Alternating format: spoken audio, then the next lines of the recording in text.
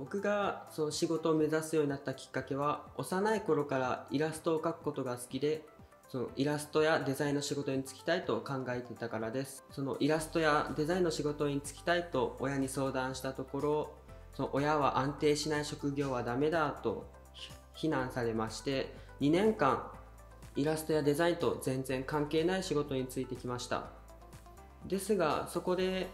そのいろんな人と出会いいろんなことを学んで夢に夢を目指すのに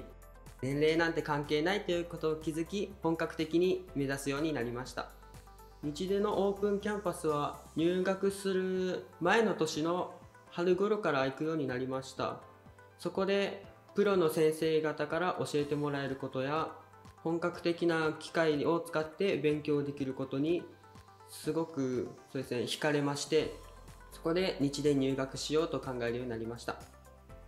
日でを選んだ理由はプロの先生方に教えてもらえることを知りそこで自分の夢を目指すために整った環境だなと思い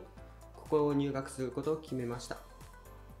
漫画家ではデッサンの描き方背景の描き方人体の筋肉や骨の描き方などの基礎的なことから漫画に関する細かい技術面まで教わって勉強しています。こちらの作品は物語の冒頭を意識して書きました。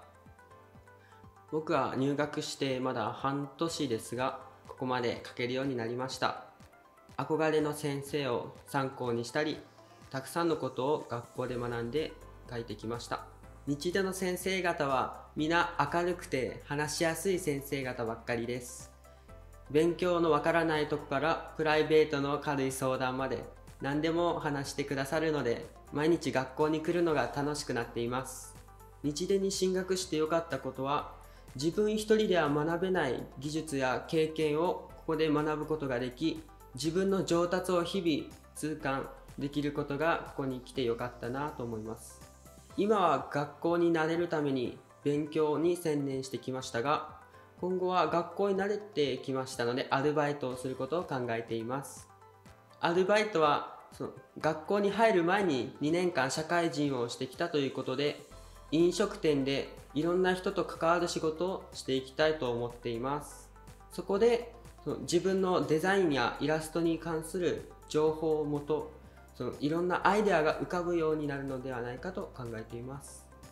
高校生の頃と同じように勉強の話をしたり楽しい話をしたりして毎日を過ごしています。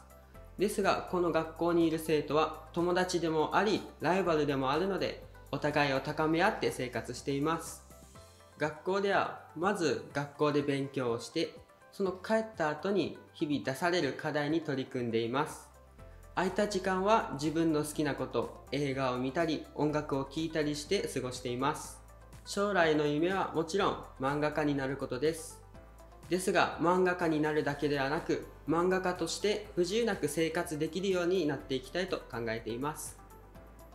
まずこの専門学校へ入学するということがその人生に関わる大きな選択肢になっていきます。ここでは妥協せずにたくさん考えたくさん悩んでから学校に入学することを選んでほしいと考えています。